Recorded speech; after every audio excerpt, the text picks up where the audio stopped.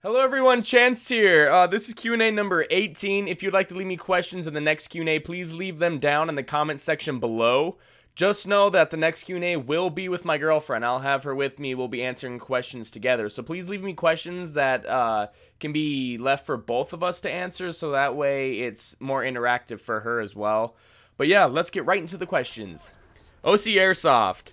Boxers or briefs? I'd say neither, because I like boxer briefs. I feel like briefs are too fucking weird, and then I feel like boxers are too loose. So I like boxer briefs. Mixed airsoft. What's better, Brazzers or airsoft?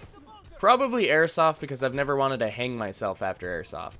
I'm not even going to attempt to say your name, because I'm afraid I'm going to fuck it up so bad and look like an idiot online, so I'm just going to start saying what your question was. Sup, G? What would you suggest to upgrade first on an AEG?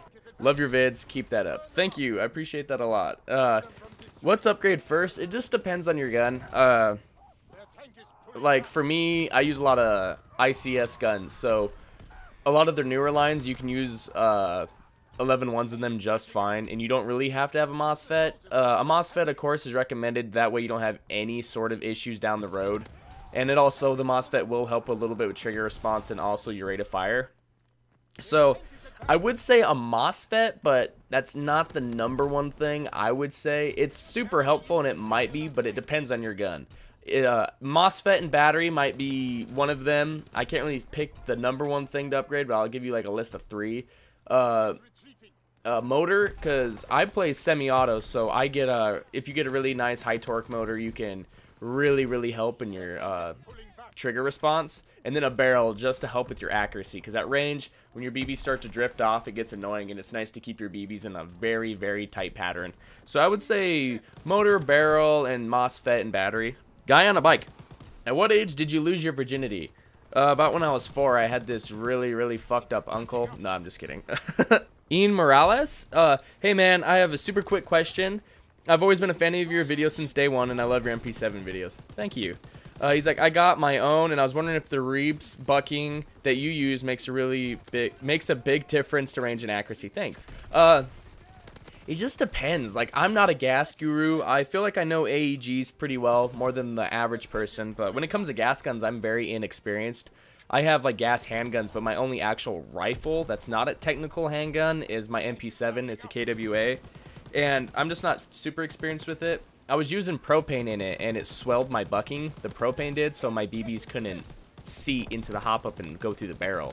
So I had to get a new bucking, which is a Reaps bucking. And it had good reviews, but to be honest with you, I don't really notice a difference than the stock bucking, to be honest. And I honestly don't really like the MP7 hop up because it feels like when you adjust the hop up unit, uh, you can't like just rotate it. It clicks. So sometimes it'll be dropping the BBs and I'll click it just one time and then they'll be floating up. And it's almost like I wish there was a little more like dexterity in the hop up. So to be honest with you, I can't really tell you if it's better or not. It's a cheap bucking. I think it was like $10. So I mean, it's not really that big of a deal if it doesn't outperform the stock bucking.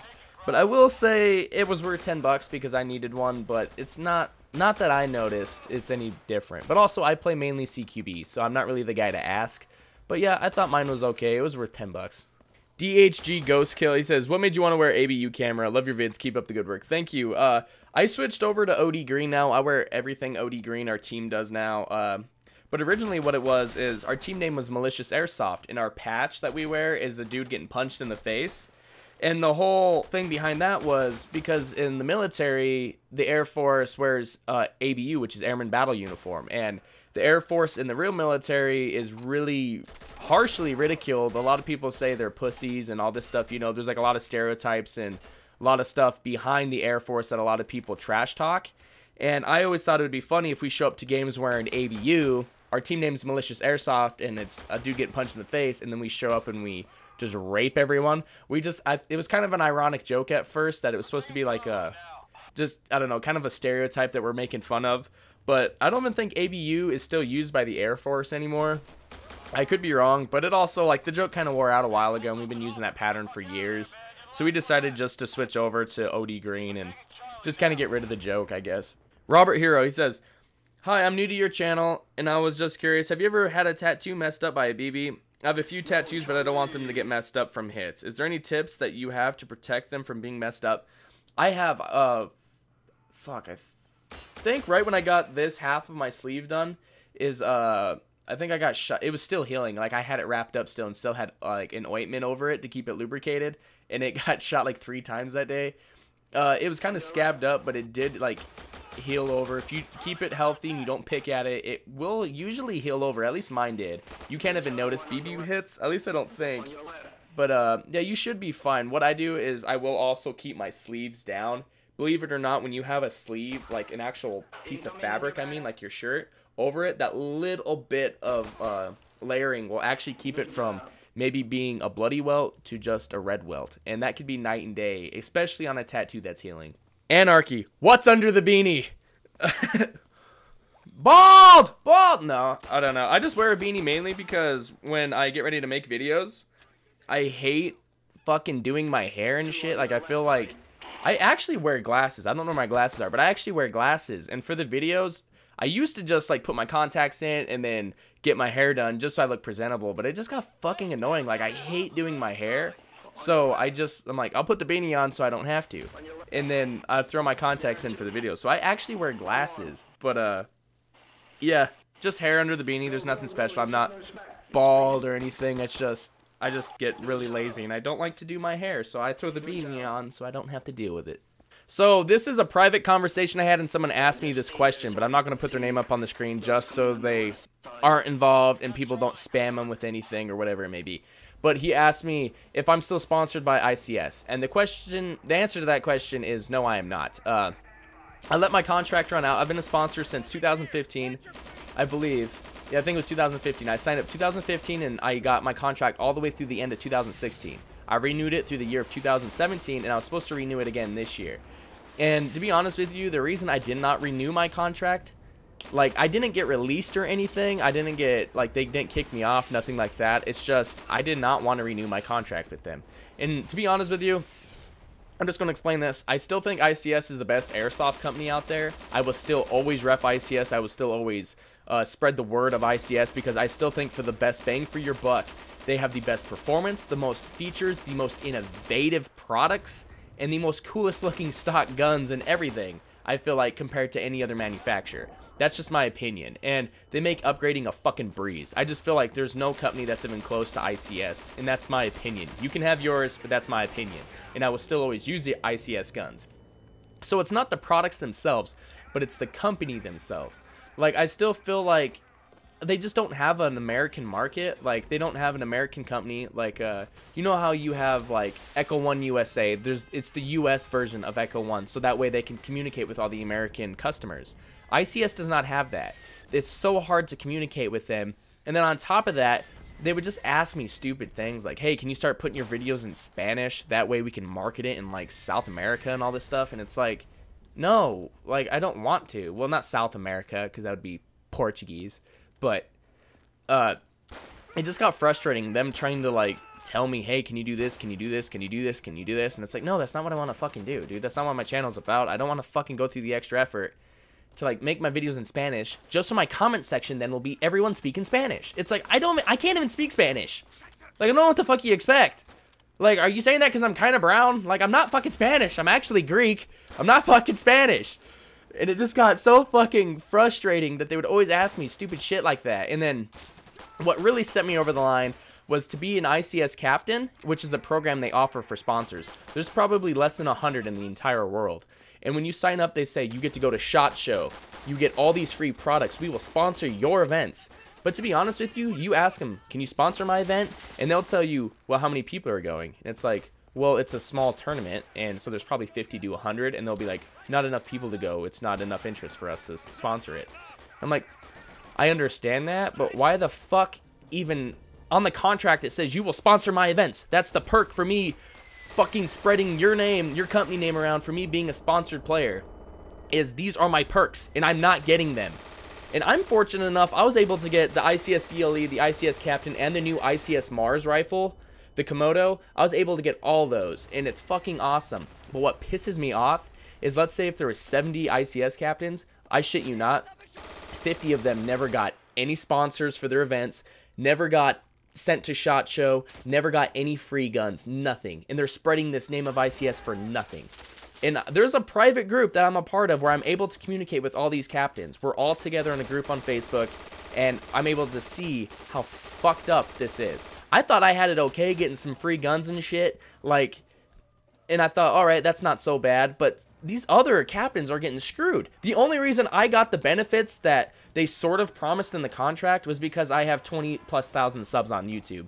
A lot of these other captains don't, and they just go, well, so be it. And it's like, when I signed this contract, you promised me these things, and I'm not getting them. And what set me over the top by far, which made me not renew my contract with them, was that they said, we have 11 of these ICS Mars rifles. We're going to be sending them out randomly and whoever gets them will make the videos or whatever or not and if you don't get one we apologize just apply next time we have a new gun out and hopefully you can get it. And it was a bunch of fucking bullshit because 11 of us got it. I was one of them. I actually have it right fucking here. And what pissed me off the most was the fact that they told me hey just so you know your gun's going to this channel. I'm not going to name him because it's not his fault but he's actually one of my friends on youtube he has like 100000 subs and they're like, we're gonna send the gun to him first, and then he'll send it to you. And I'm like, what the fuck? Like, don't get me wrong, I'm getting it for free. I'm perfectly okay with that. But I fucking won that gun. It should come to me first. Not only that, this kid's not even sponsored by ICS. So why the fuck is he getting more perks to ICS guns than the fucking ICS captains? Like, there was 60 plus ICS captains who never received a gun. And still to this day, they haven't received any gun from ICS. Out of the three ICSs given away to captains, there's many, there's probably 50 plus uh, ICS sponsored players out of like the 70 or 80 of us total that have never received not even one gun. Nothing.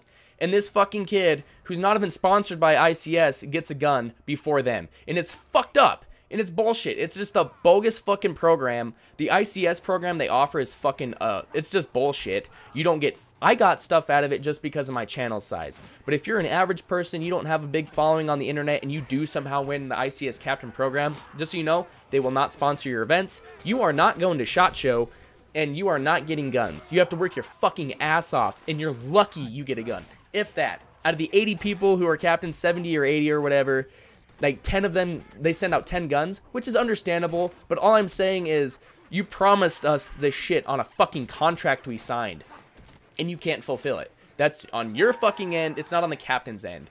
And that's why i did not renew my contract. Um, i still love ics i'll still always support them but as a business wise how they treated the captains is bullshit. I felt like i was still slightly undertreated and i got way more benefits than almost anyone that was an ICS captain. And that's what's fucked up.